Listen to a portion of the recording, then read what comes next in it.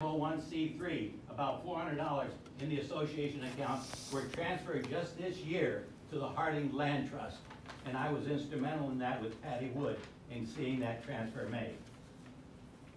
Number seven, the old swimming pool property on Route 202, after the pool accidentally discharged chlorine in the Primrose Brook, was devoted to open space in consideration